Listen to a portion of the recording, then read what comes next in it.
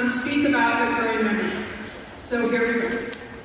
Remember that life is nasty, brutish, and short, that taco day is good, and that X123 almost always works. And I decided not to remember that Dr. Jerry is old, um, although it's closer to true now than it was when you said it to me then.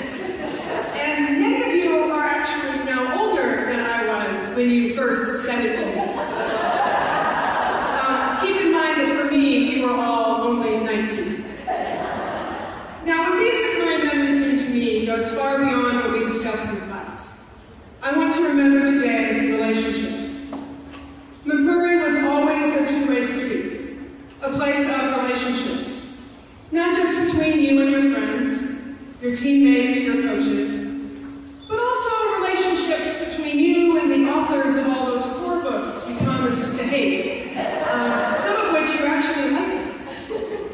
And for each of you, Mac is about the relationship between the you you were at 18, the you you were at 22, and the you you are now.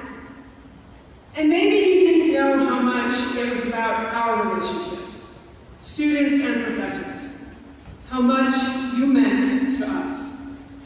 You may remember Mac as a place where we taught you.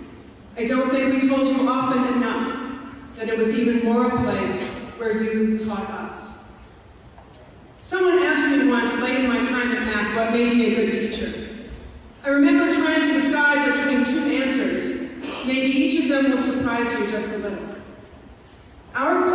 Worked because I respected you.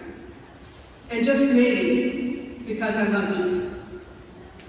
Now, the man who asked me didn't like either of those answers. He wanted me to talk about me.